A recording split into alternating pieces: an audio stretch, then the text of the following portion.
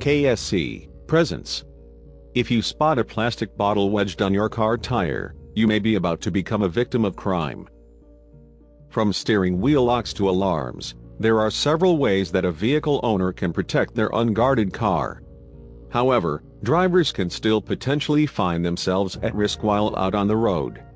One of the most concerning stories of late involves a plastic bottle getting wedged between a car tire and the wheel well.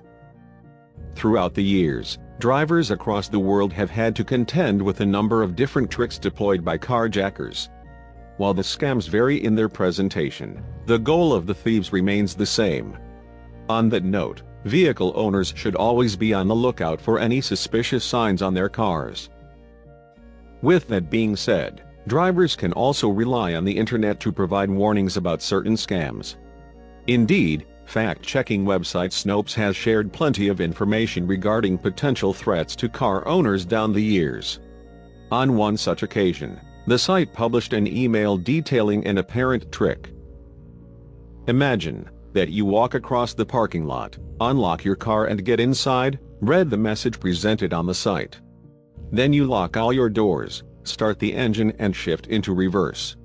You look into the rear view window to back out of your parking space and you notice a piece of paper, some sort of advertisement stuck to your rear window. At that point, the email revealed that the advertisement actually had another purpose. So, you shift into park, unlock your doors and jump out of your vehicle to remove that paper, or whatever it is, that is obstructing your view, it continued. When you reach the back of your car, that is when the carjackers jump out of nowhere, jump into your car and take off. Your engine was running, your purse is in the car and they practically mow you down as they speed off in your car, the message added. Be aware of this new scheme. Just drive away and remove the paper that is stuck to your window later. Meanwhile, there was another reported scam bearing some striking similarities to that one. Indeed, Snopes shared a message from a concerned mother in West York, Pennsylvania, talking about a suspicious item on her child's vehicle. Please beware that my daughter was coming out of the West York Walmart tonight and as she was walking to her car she noticed that a couple of guys were watching her, the parent wrote. My daughter got into her car and locked her doors, the mother continued. As she was leaving, she saw what appeared to be a $100 bill on her windshield.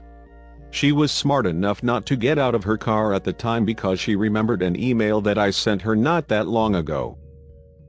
With that in mind, the mom revealed the contents of that email, which mirrored the message concerning advertisements being left on vehicles. It was about people putting something on the windshield and when the person gets out to retrieve it, they are carjacked, she added. From there, the parent then included a photo of the folded bill. While those rumors proved somewhat concerning, Snopes shared a social media post from February 2017 that detailed another potential threat. One Ashley Hardacre posted a lengthy message on Facebook after she found a shirt wrapped around her car windshield wipers. In her mind, it was a rather nefarious sign. I worked a closing shift tonight, so me and the girls I work with always walk out together to make sure we are safe in the parking lot, Hardacre wrote on Facebook. I got to my car and locked the doors behind me immediately as I always do. I then noticed that there was a blue flannel shirt on my windshield. There were two cars near me and one was running, so I immediately felt uneasy and knew I couldn't get out to get it off, Hardacre continued.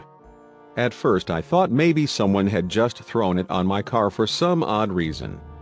I used my windshield wipers to try to get them off but the shirt was completely wrapped around my wiper blade. From there, Hardacre explained why the placement of the shirt had her so worried, referencing stories that she'd previously read. I had seen posts lately about people finding things under their windshield wipers in the Burton Flint area as an attempt to get girls out of their cars and distracted, the user wrote. Hardacre decided to head off to a discreet location away from the suspicious cars, with the shirt still stuck on her windshield. After arriving at her destination, she then removed the item. At that point, the social media user questioned why her vehicle had apparently been targeted in the parking lot. I don't know why the shirt was on my car, Hardacre added. But it had to have been intentional, because of the way it was put on there. I really can't think of another reason as to why someone would put it on my car. Tomorrow I am informing security of the situation and making them walk me to my car from now on. The stories that Hardacre had been reading might well have suggested that the shirt on her vehicle was a sign of a potential carjacking. However, it seems that this wasn't actually the intention in Hardacre's specific case. Indeed, investigating authorities later discovered that she had actually been the victim of a prank by two men. So the shirt on Hardacre's vehicle was not a ruse to serve a carjacking, however, there are a variety of other ploys that a potential thief might seek to exploit. Not long ago, for instance, a different scam which utilized another technique was brought to the attention of motorists across the world. This reported trick originated from a YouTube video posted in June 2017. Translated from Spanish, the clip, which came from Mexico, is titled, New Way to Steal Cars with a Bottle. In the clip, it was suggested that a driver could get carjacked if a plastic bottle was lodged between one of the tires and its wheel well. This placement would, one might expect, be more difficult to notice than a shirt wrapped around windshield wipers. With that in mind, the distraction would, in this case, come from the sound of the plastic being squashed by the vehicle's tire. At that point, the video intimates that the driver would leave their car to check out the strange noise, with the keys still in the ignition. From there, the carjacker would jump into action and steal the automobile. The video drew a big response on YouTube, earning over 6.5 million views and more than 12,000 likes. In addition to that, it also generated close to 850 comments from online users, most of whom were incredibly thankful for the demonstration. However, the post might have had some unintended consequences. In February 2018 authorities in Polokwane, South Africa, were made aware of rumors that carjackers in the area had adopted the plastic bottle trick. This concern apparently stemmed from social media sources. So in response, Johan Redders of the Community Policing Forum attempted to calm these fears with a statement. This might be a method used in the bigger cities but to my knowledge there has not been one such case reported in Polokwane yet, Reuters stated in February 2018, as reported by South African news website Bosveld Review Online. Prevention is, however, better than a cure and residents are urged to remain vigilant at all times. Earlier that same February, the apparent threat of the plastic bottle trick prompted a South African security firm to release a statement on Facebook. Indeed, CB Security Northwest urged vehicle owners to be mindful of the technique. Alongside that post, the company also included a picture highlighting the scam. Police warn that if you find a plastic bottle near your car, you may be in danger, read CB Security Northwest statement on Facebook. Just when we thought thieves used the highest technology to commit their flights and scams, they come up with this. The tip of a plastic bottle. From there, the South African security firm outlined the technique, mirroring the visual explanation in the Mexican YouTube video. After revealing how the scam worked, the statement then relayed some advice to concerned citizens.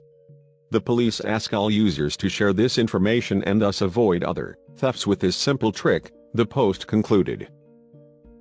For vehicle owners living in South Africa, this was yet another thing to be wary of while out on the road. The country's police service already had a detailed list of do's and don'ts relating to carjackings on their official website. One of those points, advising drivers to watch their keys, subsequently stood out when the plastic bottle trick came to light. Meanwhile, the United States Department of State had some guidelines of their own regarding road safety overseas. Carjacking has become one of the most prevalent crimes in many parts of the world, read a statement on the department's website. Most carjackings occur for the sole purpose of taking the car. With that in mind, the State Department then gave out some advice on what to avoid in those instances. You can protect yourself by becoming familiar with the methods, ruses and locations commonly used by carjackers, the statement continued. The first step to avoiding an attack is to stay alert at all times and be aware of your environment. At that point, the government agency revealed a list of common attack plans relating to carjackers, starting with something known as the bump. In this case, the thief bumps into the driver's car, which results in the latter leaving their vehicle to check things over. From there, the automobile is stolen. The State Department went on to name some other attack plans, such as the Good Samaritan and the ruse. In each scenario, the driver gets distracted by something, causing them to drop their guard. The plastic bottle trick detailed on South African social media posts is an example of that. However, as the technique continued to grow in notoriety, two men in 2018 attempted to see if the trick actually worked.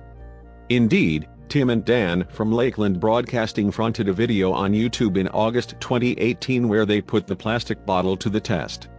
Standing next to a parked car in the clip, the pair explain their plan. Tim and Dan here, testing the theory that a water bottle stuck in the wheel of a car will cause a distraction, Tim says. Then the driver gets out to check the noise, somebody is hiding and they get into the car. Then they steal the car. We're going to test it out right now. Tim then takes an empty water bottle and prepares to enact the trick, with Dan playing the role of the carjacker. Holding on to the camera, the former talks through his plan. We're going to stick this bottle in the wheel well here, right there, he says, lodging it against one of the car's front tires. That's probably not something the driver would see, Tim continues. From there a woman then approaches the vehicle, with Dan hiding behind the trunk in a humorous disguise. She opens the door and sits in the driver's seat, while the camera remains focused on the bottle in the wheel well. A few moments later, the woman starts the ignition and slowly pulls away from the parking space. The bottle subsequently crackles between the tire and the wheel well, albeit not that loudly, before falling out. At that point, Tim asks the driver if the sound served as any kind of distraction. Did you hear that noise well enough that it would have made you get out and check your car? Tim questions. I couldn't hear anything from inside the car, the woman responds. Not a thing. With that in mind, he looks to try again to see if the results will differ. Let me just put the bottle way down in here, Tim says as he lodges the item into the wheel well for a second time. I'm gonna really wedge it into that tire there. It's wedged as far as it can go now. With everything in place, the car slowly moves forward, causing the bottle to crunch once again. In this instance, though, there was a key difference. As Tim moves the camera up to the driver, the passenger side window was open. With the window down, I can hear it. The woman says. With the window up, no. However, while she had noticed the noise, it still didn't prove all that distracting. After testing the trick out, Tim gives a rather blunt assessment of the results. We're going to call that, probably not terribly plausible, he says, bringing the video to an end. Meanwhile, Snopes has done a bit of digging as well curious to see if the plastic bottle technique has actually resulted in a driver getting carjacked. Somebody from Snopes subsequently spoke to the Federal Bureau of Investigation, asking if they had heard anything regarding the trick. A representative said they were unaware of any reports of carjackings involving plastic bottles, the website reported. Indeed it's not entirely certain that the bottle trick can be considered a genuine threat, but it's undoubtedly worthy of consideration for the sake of staying safe. Thank you for watching. And don't forget to subscribe.